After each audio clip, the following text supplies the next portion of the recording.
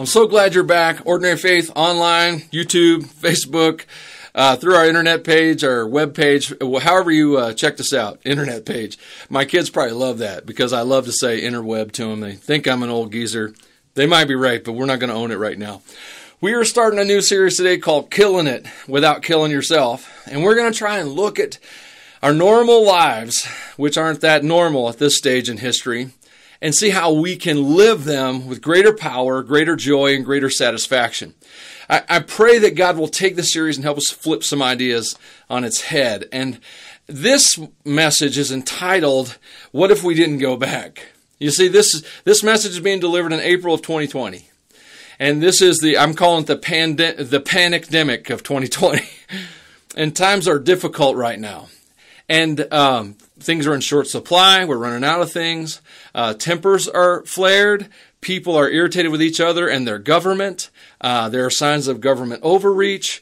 There are just doubts about the credibility of a whole lot of things. So, what I'm suggesting is, is that since God has given us this pause in our history, what if we took this pause as a moment of reflection, and what if we decided not to go back to the way things were? The Bible says in Ecclesiastes, everything is wearisome beyond description. No matter how much we see, we're never satisfied. No matter how much we hear, we are not content. History merely repeats itself. It has all been done before. Nothing under the sun is truly new. You see, uh, America has gone through the 20s before. This is 2020.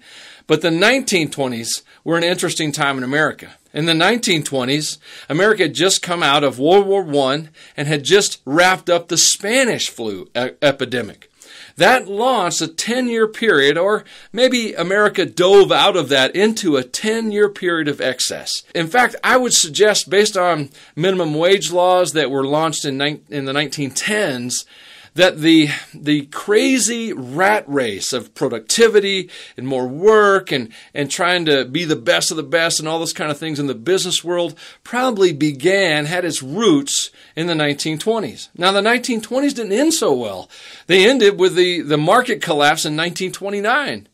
And so here's my thing. I don't want to do that again. I don't want to go through uh, whatever they went through, the, the 10 years of excess, the 10 years worth borrowing from tomorrow just to pay another 10 to 15 years and another war to get out of. I don't want to go down that road. So I don't want to go back. And so I don't know how you feel about things today, but here's my question. What if the next 10 years is going to take a better version of you? What if it's going to take a more spiritual version, a more holy version, a more powerful version of you? A person that you are not yet, that you have not yet grown into. So if it's going to take that, what are we going to do? How are we going to prepare for those kind of things? Now, I am using as a basis for this message the story of Rehoboam. And I'll just tell you the story right quick. You can read about it in Second Chronicles chapter 10, and uh, it ends, his story ends, in, or the story that's relevant to today ends in about verse 4 of chapter 11. In that story, Rehoboam takes the throne after Solomon. Now, Solomon took the kingdom of Israel to heights unknown before or since. But he did that on the backs of the people. They, the people worked very hard to achieve the success of Solomon's reign. When Rehoboam took the throne, he wanted to keep that status quo that his father had established. It was a good life. They were wealthy. Everyone was happy. And so he would like to keep that going. But the people came to him and said, Hey, we want a break. We want you to make our life easier. The older advisors to Rehoboam said, Hey, we should do that. The younger one said no. And Rehoboam, being a young man himself, went with the younger crowd and the kingdom split. It would have been a civil war. Rehoboam was set to do that. He was going to go take the armies out. But when he did take, gather his army to go to war with half the nation of Israel, God sent a prophet said, No, this is of me. This is the new future. Rehoboam bowed to that, went back to Jerusalem, and he began to put together a new future. One that was unexpected, one that wasn't the status quo, one that he wasn't prepared for, the people weren't prepared for. The sad thing about this story is, is that neither the kingdom of Israel nor the kingdom of Judah fully chose God from that point on. And it ended both nations eventually. They were one nation of Israel. After Rehoboam, they were the nation of Israel and the nation of Judah. And then both nations eventually collapsed because they rejected God. Not because of their economic policies, not because of their politics, but because they lost their focus as the people of God. Now, that's what I'd like to avoid. I'd like for Christians, and myself, to walk out of Pandemic 2020 with an idea and a heart that says, I am God's man, or she is God's woman, or these are God's kids. And we live for God and we're focused on God. So I'm posing the question, what if this is our do-over? And I'm going to pose the rest of these questions in, as what if questions. Everybody loves those, right? Just kidding. 1 John 2:17. This world's fading away along with everything that people crave. But anyone who does what pleases God will live forever. What if we stop believing in the world? What if we realize that this world's just going to fail us again and again and again? How many times is the market going to collapse? How many times are you going to lose your retirement, lose a job, lose the American dream slash nightmare? What if we just stopped believing that the world was our answer?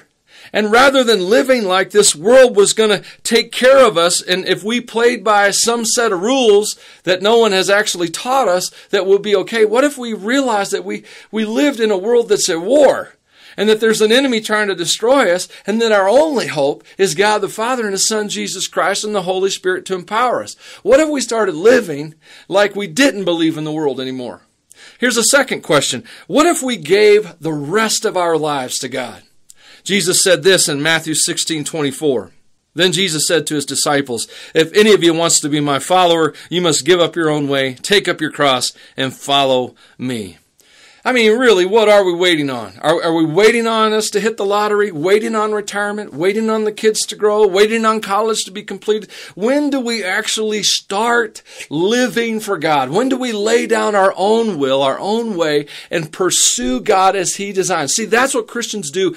They follow Christ, and Christ said the only way you follow me is you lay down, you give up your own way, and you take up your cross. And He was alluding to exactly what He was doing for the Father. He laid down His own life, took up the cross, and suffered for the glory of God. And that's what he's telling us. What if we stop putting that off? What if we started saying, Michael Maynard died April of 2020, in the great pandemic of 2020, Michael Maynard was over. From that point on, he was just a son of God. He just lived for God. He, he started being a missionary everywhere he was. He didn't need a special reason, didn't need anywhere to go. Where he was, he was bringing Jesus there. Wouldn't that be a great thing to be able to say, a great epitaph to, to have shared uh, after you're gone and this life is done? What if we just gave the rest of our lives to God, realized we were living on borrowed time, and just gave it all to Him? Jesus explained, My nourishment comes from doing the will of God who sent me and from finishing His work. And my third question is, what if we discovered real satisfaction? You see, Jesus was satisfied doing the will of God.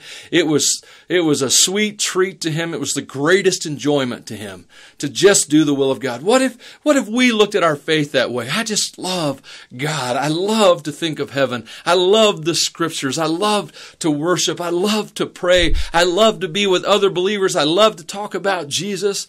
And we, we began to push out of our lives. We had so much Jesus Jesus, so much God talk in our life, so much love for God in our life that it began to push out all the, the things that weren't God, all the things that, that didn't glorify God in our life. It, it's so easy for us to, to get these idols and build some kind of altar to them and sacrifice all this time and money to those things. What if we stop doing that and we just realize that what really satisfies is when I obey God, when I enjoy God, when I worship God. Those are the things that truly satisfy.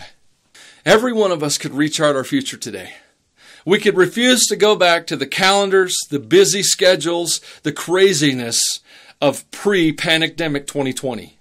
We could all say, This is my turning point. April 2020, I'm done. From this point on, I, I serve God and I live for God. I died in that pandemic, and from now on, I live for Jesus completely. Everything before me is for Him. Have a great day, and uh, I hope your demise in the pandemic of 2020 wasn't that bad.